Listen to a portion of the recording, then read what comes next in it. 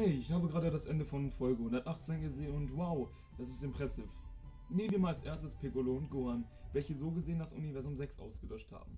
Und das gegen Namekiana. Und gerade bei Piccolo wissen wir, wie stolz er auf seine eigene Rasse ist. Und diese beiden jetzt besiegt zu haben, welche die Beschützer von Namek aus Universum 6 sind, ist eigentlich ziemlich deep und dunkel. Und auch Gohan hatte diesen einen Kämpfer, welcher Familie hatte, genauso wie Gohan. Also auch für Gohan ist es ziemlich emotional und dunkel. Und außerdem wissen wir, Universum 6 ist eigentlich so ein Hauptteil aus Dragon Ball Super.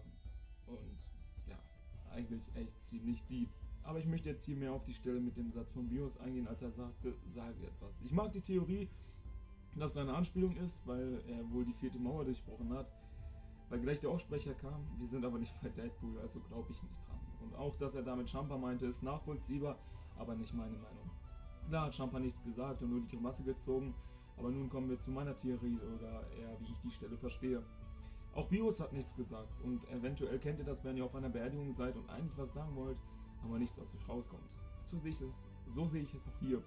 Bios meinte sich selbst, er hat weder was gemacht noch gesagt, er war still und das war schon das schnelle Video. Ich hoffe, ihr könnt es nachvollziehen und ciao.